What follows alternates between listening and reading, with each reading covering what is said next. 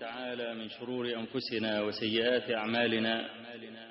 من يهد الله تعالى فلا مضل له ومن يضلل فلا هادي له. وأشهد أن لا إله إلا الله وحده لا شريك له وأشهد أن محمدا عبده ورسوله. يا أيها الذين آمنوا اتقوا الله حق تقاته ولا تموتن إلا وأنتم مسلمون. يا أيها الناس اتقوا ربكم الذي خلقكم من نفس واحدة وخلق منها زوجها وبث منهما رجالا كثيرا ونساء واتقوا الله الذي تساءلون به والأرحام إن الله كان عليكم رقيبا يا أيها الذين آمنوا اتقوا الله وقولوا قولا سديدا يصلح لكم أعمالكم ويغفر لكم ذنوبكم ومن يطع الله ورسوله فقد فاز فوزا عظيما أما بعد فإن أصدق الحديث كتاب الله تعالى وأحسن الهدي هدي محمد صلى الله عليه وآله وسلم وشر الأمور محدثاتها وكل محدثة بدعة وكل بدعة ضلالة وكل ضلالة في النار. إنما سميت الكبائر كبائرا لعظم شرها في الدنيا ولجسيم عذابها في الآخرة. لذلك جعل الله عز وجل اجتنابها شرطا في النجاة. فقال تعالى إن تجتنبوا كبائر ما تنهون عنه نكفر عنكم سيئاتكم وندخلكم مدخلا كريما. والمدخل الكريم هو الجنة.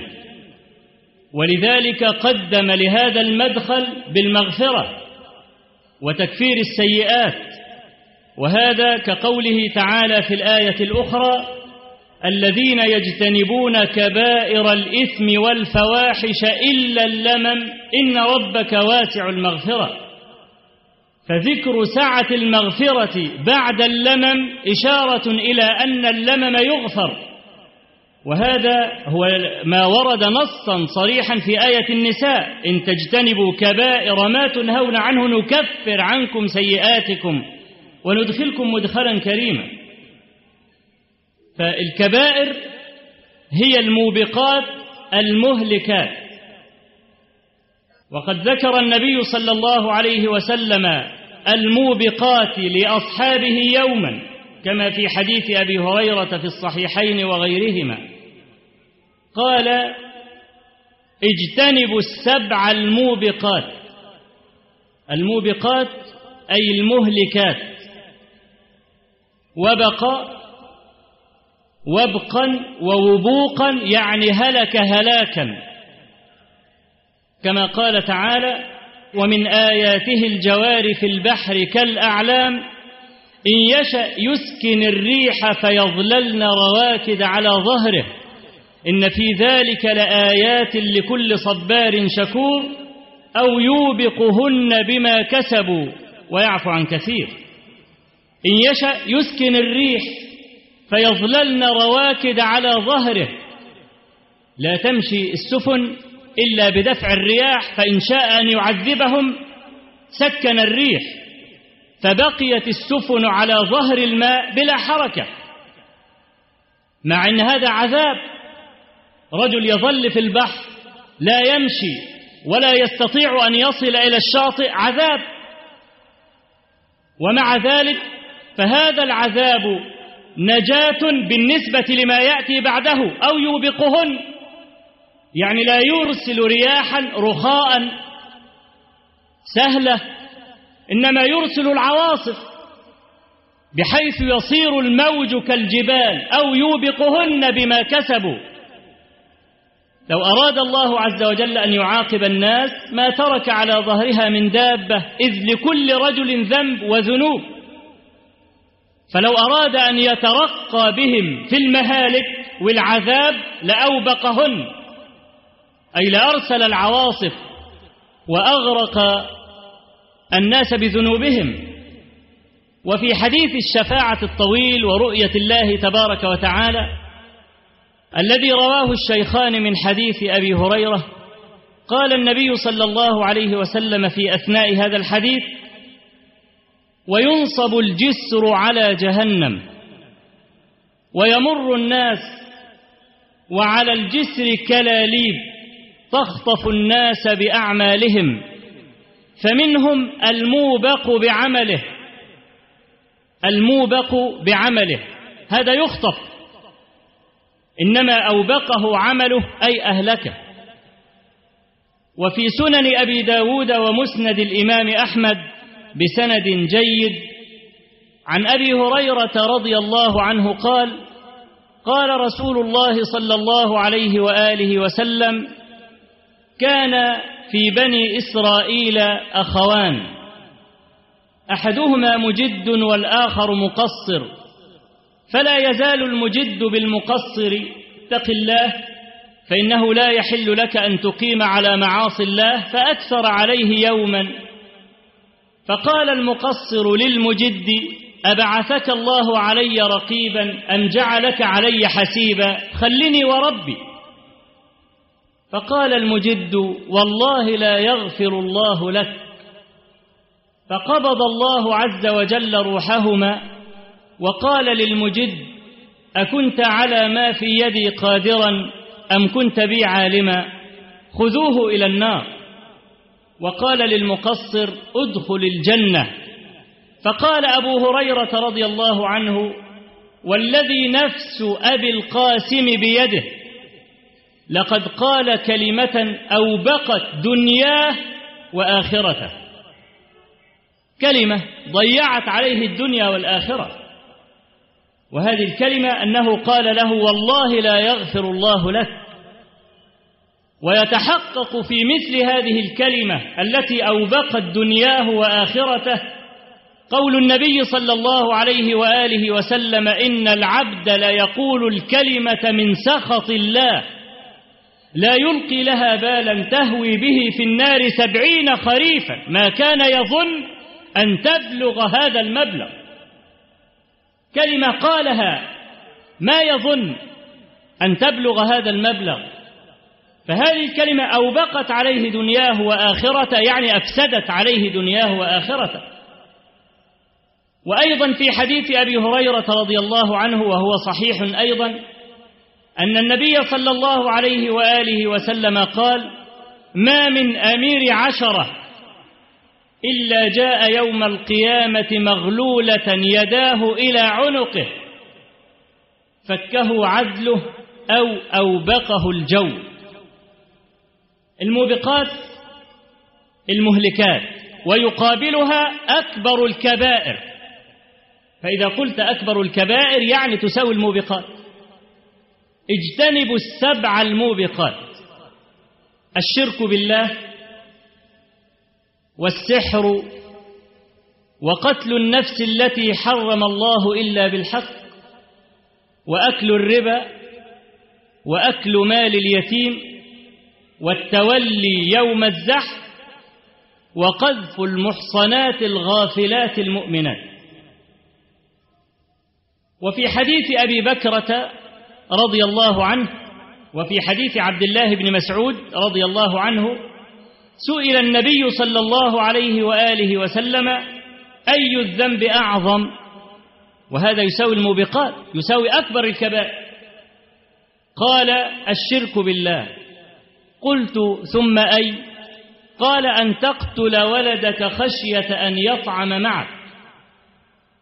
قلت ثم أي؟ قال الزنا بحليلة الجار. ثم تلا قوله تبارك وتعالى والذين لا يدعون مع الله إلها آخر ولا يقتلون النفس التي حرم الله إلا بالحق ولا يزنون.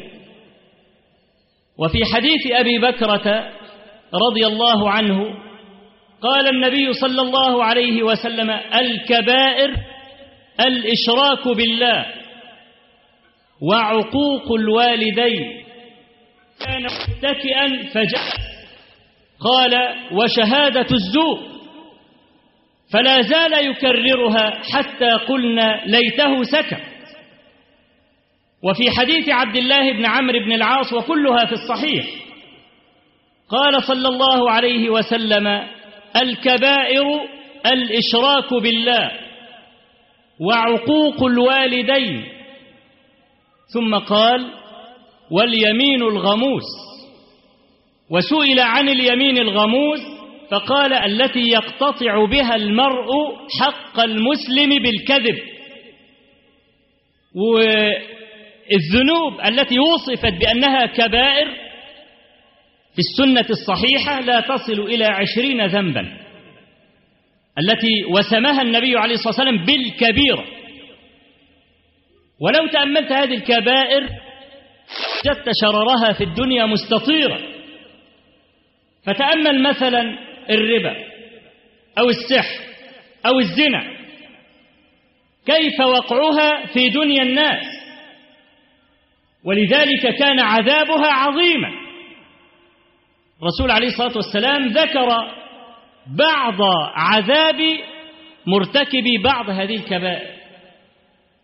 كما في الصحيحين من حديث سمرة ابن جندب رضي الله عنه قال كان النبي صلى الله عليه وسلم يسأل أصحابه هل رأى أحد منكم رؤيا؟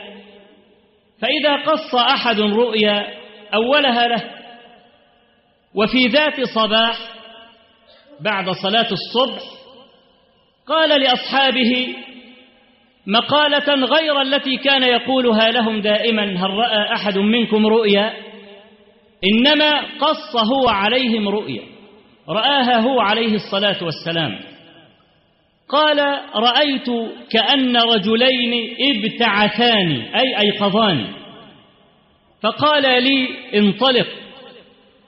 فانطلقت معهما فإذا رجل مضطجع وآخر واقف على رأسه بصخرة عظيمة ثم إن هذا الآخر الواقف يضرب رأس المضطجع بهذه الصخرة فيفلغ رأسه يفتحه ويتدهده الحجر يعني الحجر يجري على مسافة فيتتبع هذا الرجل الحجر فيأتي به فعندما يأتي ترجع رأس هذا المضطجع صحيحة كما كانت فيضربه بالحجر فيفتح رأسه فتدهده الحجر وهكذا. قلت سبحان الله ما هذان؟ قال لي انطلق انطلق. فانطلقنا. فإذا رجل مضطجع وآخر قائم عليه بكلوب من حديد خطاط. يشرشر شدقه إلى قفاه ومنخره إلى قفاه وعينه إلى قفاه. ثم يأتي على الشق الآخر فيشرشر شدقه إلى قفاه ومنخره إلى قفاه وعينه إلى قفاه. فلا يفعل ذلك بالشق الآخر حتى يعود الشق الأول صحيحا كما كان فيرجع إليه فيشرشره. فقلت سبحان الله ما هذان؟ قال لي انطلق انطلق. فانطلقنا فإذا بناء مثل التنور مثل الفرن. فاطلعنا فيه فإذا فيه رجال ونساء عراه. ويأتيهم لهب من أسفل فإذا جاءهم ضوضوا ضوضوا يعني صرخوا وأحدثوا ضوضاء. فقلت سبحان الله ما هؤلاء؟ قال لي انطلق انطلق. فجئت على رجل يسبح في بحر مثل الدم. وعلى شاطئ البحر رجل عنده حجارة كثيرة. فإذا جاء هذا السابح إلى هذا الواقف على الشاطئ فغر فاه له فتح فمه وإذا هذا الواقف على الشاطئ يقذفه بحجر فيلتقمه بفمه ثم يعود يسبح ثم يأتي إليه مرة أخرى فيناوله حجرا. فقلت سبحان الله ما هذان؟ قال لي انطلق انطلق. فانطلقنا فأتينا على رجل كريه المرآة كأكره ما أنت راء رجلا مرآة قط. قلت من هذا؟ قال لي انطلق انطلق وعنده نار يحشها أي يوقدها. فانطلقنا فإذا روضة معتمة كأحسن ما أنت راء من ألوان الربيع. وإذا رجل طويل لا تكاد ترى رأسه طولا في السماء وحوله ولدان ما رأيت قط ولدانا أكثر منهم. فقلت من هذا ومن هؤلاء؟ قال لي انطلق انطلق. فإذا روضة عظيمة لم أر قط روضة أعظم منها. قال لي ارتقي فارتقيت. فإذا مدينة لبنتها من فضة وذهب. فاستفتحنا فدخلنا فاستقبلنا رجال شطر وجوههم كأحسن ما أنت راء منظرا من الحسن والشطر الآخر كأقبح ما أنت راء فقال لهم اغتسلوا في هذا النهر وهناك نهر معترض ماؤه محض البياض بياض صافي. فاغتسلوا في هذا النهر فخرجوا فكانوا كأحسن ما أنت راء صورة وذهب عنهم القبح. فقال لي هذه جنة عدن.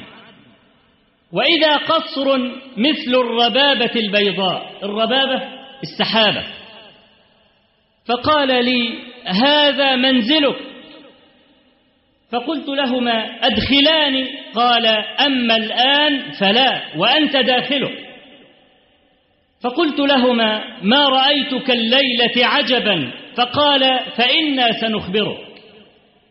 أما الرجل المضطجع الذي يرميه آخر بالحجر فيسلغ رأسه ويتدهده الحجر. فهذا رجل قرأ القرآن ورفضه ونام عن الصلاة المكتوبة. قرأ القرآن ورفض القرآن. يعني إيه رفض القرآن؟ رفض أن ينصاع لأوامره. كان يتجر به يقرأ به في الصوانات والحفلات فقط ليقول الناس ما أجمل صوته لكن لا يقف عند حرامه ولا يفعل أوامره. رفض القرآن. ولا يشترط في الرفض أن يكون رفضا علنيا بل لسان الحال قد يكون أقوى من لسان المقال. فإن الرجل الذي يدوس المصحف برجله لا نحتاج أن نسأله هل تمتهن المصحف ولا تعظمه. فإن الفعل واضح أنه امتهان للمصحف ولا يشترط كما يقول بعض الناس أن يكفر الرجل إلا إذا صرح كأن يسب الله علانية أو يسب دين الله أو يسب النبي عليه الصلاة والسلام. سبا صريحا لا يشترط بل قد يكفر بفعل يفعله كأن يدوس على المصحف بيده أو أن يلقي به في الخلاء أو أن يقذف به في وجه آخر أو أن يمزقه. كل فعل فيه امتهانا للمصحف فهذا كفر بالله وخروج من الملة. فهذا الرجل رفض القرآن ونام عن الصلاة المكتوبة وإنما نبه على الصلاة لعظمها. والجزاء من جنس العمل. إنما يضرب رأسه لأن رأسه الذي نام. فكان الجزاء من جنس العمل. وأما الرجل الذي يشرشر شدقه إلى قفاه ومنخره إلى قفاه وعينه إلى قفاه فهذا الرجل يأتي بيته فيكذب الكذبة فتبلغ الآفاق. رجل كذاب وله صيت وله مكانة يكذب الكذبة فتصل إلى كل الخلق. والنبي عليه الصلاة والسلام قال ثلاثة لا ينظر الله عز وجل إليهم يوم القيامة ولا يزكيهم ولهم عذاب أليم. منهم السلطان الكذاب. لماذا يكذب؟ أنا أفهم أن الذي يكذب هو الذي يخاف. لكن صاحب الشوكة لماذا يكذب؟ ملك كذاب يكذب الكذبة لأن عنده وسائل إعلام مرئية ومقروءة ومسموعة فتبلغ كذبته الآفاق. كل الناس يسمعون بها ويعرفونها فهذا نموذج. ومن كان على شاكلته ممن له نفوذ وصيف ويصل كلامه إلى آخر الدنيا. يكذب الكذبة فتبلغ الآفاق لذلك يشرشر شدقه الذي تولى الكذب وفيه اللسان. وأما التنور الفرن فيه نساء ورجال عرايا فهؤلاء هم الزناة والزواني فإذا أتاهم لهب من أسفل ضوضوا وإنما جاءهم اللهب من أسفل لأنهم عصوا الله عز وجل بفروجهم وهي أسفل أبدانهم. فكان الجزاء من جنس العمل. والنبي صلى الله عليه وآله وسلم يقول لأن يزني الرجل بعشر نسوة أيسر عليه من أن يزني بحليلة جاره ولأن يسرق الرجل من عشرة أبيات أيسر عليه من أن يسرق بيت جاره. لا خير في لذة آخرها النار. تفنى اللذات وتبقى التبعات.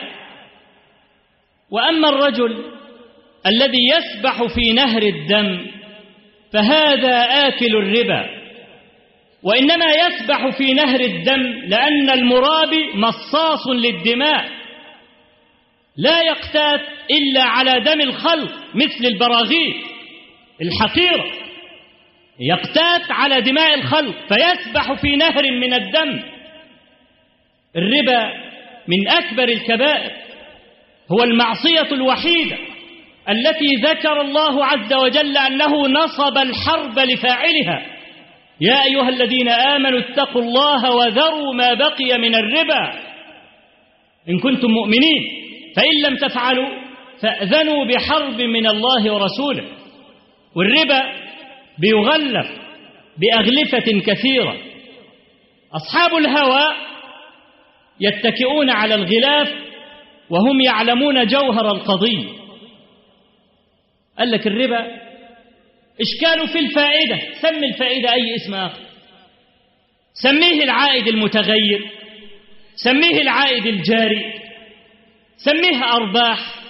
إذا كانت الفائدة دي مشكلة وهتعمل لك مشكلة غير الاسم لا إشكال. فوائد البنوك حرام. ولا يوجد ما يسمى بالبنك الإسلامي لا فيصل ولا غيره. لا يوجد بنك إسلامي. بكل أسف البنوك التي رفعت راية الإسلام رفعتها في اللوائح فقط. إنما في الواقع لا عجزوا عجزوا. النظام المالي العالمي ربوي. البنك المركزي هو الذي يشرف على كل البنوك ويقتطع جزءا من رأس مال أي بنك. بالإضافة لأن بعض البنوك التي ترفع راية الإسلام تقرض البنوك الأخرى بفائدة ربوية. وأصل عمل البنك أيها الإخوة الكرام قائم على الإقراض. الذي يقول لك أن البنك بيدخل مشروعات كاذب غير صادق. إذا جاز أن تكون هناك مشروعات فلا تتجاوز خمسة بالمئة من رأس مال البنك. إنما البنك قائم أصلا على جعل المال سلعة. رجل معه عشرة آلاف لا يستطيع أن يستثمرها فيضع العشرة آلاف في البنك. رجل آخر يحتاج عشرة آلاف. فيأتي هذا المحتاج إلى البنك فيقول له أقرضني عشرة آلاف يقول له عشرة آلاف بثلاثة ألف. إيه توصيف هذا عند العوام؟ عند عوام الناس لا أقول عند العلماء. ما توصيفه؟ ربا كالشمس رجل يقرض رجل المئة بمئة وعشرة. هذا ربا صريح جدا. فالبنك أصلا قائم على الإقراض. يقرض عشرة آلاف بثلاثة ألف. ثلاثة آلاف دي يقتسمها ما بين صاحب رأس المال وما بين البنك. أدي عمل البنوك باختصار. لا المسألة مسألة فائدة ثابتة ولا متغيرة. ومن كثرة ما أشاعوا عن الفائدة الثابتة يتصور بعض الناس إنهم لو عملوا مشروع تجاري معا وثبتوا الفائدة إن ده ربا. وهذا غير صحيح. من كثرة ما قالوا إن أصل الربا جاي من الفائدة الثابتة وهذا غير صحيح. الربا أصلا آتي من العملية البنكية. العملية البنكية ربوية في الأصل. سواء غيرت الفائدة أو ثبتها ما لها قيمة. تغيير أو التثبيت مع وجود العملية الربوية في الأصل. فأنت إذا عملت مشروعا مع آخر وثبتت الفائدة كأن تقول مثلا لي الثلثان ولك الثلث. فهذا جائز لأنك لم تثبت الربح. لك الثلثان من الربح الآتي ولي الثلث من الربح الآتي. جاء الربح كبيرا جاء صغيرا جاء متوسطا لي الثلثان ولك الثلث. هذا جائز لا إشكال فيه. فالربا هو الذي يدمر اقتصاديات الناس. ويلتحق بالربا ما يجري مجراه كالقمار مثل البورصة البورصة دمار. وما من بلد سمحت للبورصة أن تعمل في بلدها إلا دمر اقتصادها. الذي يحدث الآن في بلدنا خطير. والبورصة نظام يهودي قائم على جذب رؤوس الأموال الساكنة عند الناس. يعني الشركات اللي بتعرض الأسهم السهم بعشرين جنيه. في خلال ستة أشهر يصل السهم الخمسمائة جنيه. ليه؟ بتجروا في إيه يعني؟ الزيادة وهمية على الورق. أنا لو دخلت مثلا بمئة سهم في عشرين جنيه أدي بألفين طيب مئة سهم في خمسمية بخمسين ألف في ستة أشهر. فأنا لو عندي مدخرات أحتفظ بها في بيتي سأقول لنفسي طب ما أنا أدفعها في البورصة؟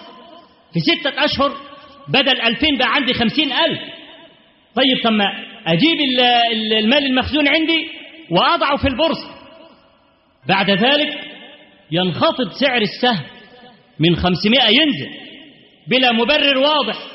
يعني مثلا لو السهم بمئة جنيه وارتقى إلى 300 400 فجأة ينزل السهم ل 150 ل 120 وبعدين تطير إشاعات لأن القائم على البورصة يهود ملوك الدعاية والإعلام في الدنيا. تبتدي الشائعات ده بيقولوا السهم هينزل ل 90 ده بيقولوا هينزل ل 50 ده بيقولوا هينزل ل 20 فأنت لما أخرجت مالك أول مرة بقصد أن السهم يوصل ل 500 الآن وصلت شائعات قوية. أن السهم هينزل ل 20 جنيه و30 يبقى أنت تعمل إيه؟ تبيع بالخسارة. لتستنقذ مالك. يبقى أنت داخل واخد السهم ب 100 جنيه اشتريت السهم ب 70 مرة أخرى. وبهذا يخرج كل ما في أيدي الناس من أموال في البورصة فإذا ضربت البورصة وقف الناس لا مليم ولا دينار ولا درهم. ليه؟ لأن المال المخزون اللي هو كان بيدخره ليأكل به ويشرب راح. دخل في البورصة وراح. لا يبقى مع الناس سيولة. يضرب الاقتصاد من هنا تضطر الدول إنها تستدين بالربا المركب عشان تغطي هذا الاقتصاد. وما يوم الجمعة في الكويت ببعيد خسروا مليارات في البورصة حتى إنه دمر اقتصاد الكويت. وجنوب شرق آسيا ماليزيا وأندونيسيا دول بأكملها انهار اقتصادها بعد ما كانوا بيسموها دول النمور. النمور السوداء لأنها بدأت تنافس الدول الكبرى في الصناعات. فاليهود لما رأوا إن هذه الدول وهي إسلامية سيكون لها شأن في الصناعات دخلت نظام البورصة. وبعدين جرجروهم واستدرجوهم. السهم أبو عشرة يبقى بمليون. مش مهم. ما هو في الآخر المال سيرجع إلى جيب اليهود. وحصل تدمير كامل لاقتصاديات هذه الدول. الربا نظام مدمر. نظام مدمر. يعتمد في الأصل على مص دماء الخلق. لأجل هذا كان الجزاء من جنس العمل. رجل يسبح في نهر من الدم دماء الضحايا الذين مصها وهو حي. وهناك رجل على الشاطئ معه حجارة كبيرة. الحجارة دي رمز للمال الذي جمعه ولم ينتفع به. والحجر بيضرب مثل في الخسارة. حجر بيضرب مثل في الخسارة. لو تحب تزرع في الحجر لا تستطيع. والنبي صلى الله عليه وسلم قال في بعض أحاديثه الولد للفراش وللعاهر الحجر. أي أن الولد الذي ينسب إلى أبيه هو الذي جاء على فراش الزوجية الذي حصل بالعقد الصحيح. مش المقصود فراش الزوجية؟ يعني السرير اللي انت اشتريته وانت بتتزوج. لأن الزاني قد يزني على فراشك ليس المقصود الولد للفراش ان الولد يأتي على فراش الزوجية لا المقصود الفراش الذي جاء بالعقد الصحيح. فيبقى الولد لا ينسب إلى غير أبيه. وللعاهر الحجر أي للزاني ليس له نسبة الولد. يعني رجل زنى بامرأة أينسب الولد إلى الزاني؟ أجمع أهل العلم على ألا. لا ينسب. طب ينسب لمن؟ لأي أحد. يبقى اسمه ابن أبيه ابن عبد الله ابن أي حاجة. بشرط ألا يتسمى باسم الزاني. وسبحان الله رجل متزوج وظل ثلاثين سنة لا ينجب من امرأته وزنى مرة واحدة فأنجب الولد. فسبحان الله جلت حكمته عن الأذهان. جلت حكمته عن الأذهان. لا ينسب الولد إليه. وخرج بالحجر أي بالخيبة والخسران. اسم الزنا عليه ولم ينسب الولد إليه. فهذه الحجارة كناية أو هي عبارة عن المال الذي جمعه. ثم هذا الواقف على الشاطئ كلما اقترب منه ذلك المراب السابح في الماء ألقمه الحجر. أما الرجل الذي هو كأكره ما أنت راء رجلا مرآة فهو مالك خازن النار وأعوانه مثله عليها ملائكة شداد غلاظ مثله كأكره ما أنت راء رجلا مرآة إذا رأيت وجهه قلت وجهه لا يأتي بخير وعنده نار يحشها يحشها أي يوقدها. وأما الرجل الطويل الذي لا ترى رأسه طولا في السماء فهذا إبراهيم عليه السلام. وأما الولدان حوله فهم الذين ماتوا على الفطرة. فقال رجل يا رسول الله وأولاد المشركين أي لو ماتوا صغارا قبل أن يبلغوا التكليف أهؤلاء يدخلون في الفطرة؟ قال وأولاد المشركين. قال وأما الرجال الذين شطر وجوههم كأحسن ما أنت رائن والشطر الآخر كأقبح ما أنت رائن فهؤلاء رجال خلطوا عملا صالحا وآخر سيئا عفى الله عنهم. ولذلك قيل لهم ادخلوا النهر فاغتسلوا فاغتسلوا فكانوا كأحسن ما أنت رائن صورة. فهذه بعض عقوبات هذه الكبائر الربا الزنا الكذب. قال سفيان بن عيينة رحمه الله كل ذنب جعلت فيه الكفارة فهو هين ولم يجعل الله للكذب كفارة. إشارة إلى عظم جرم الكذب. وترك الصلاة المكتوبة ورفض القرآن أيضا من أكبر الكبائر. فإنما تسمى الكبيرة كبيرة لكبر شرها في الدنيا وعظيم عذابها يوم القيامة.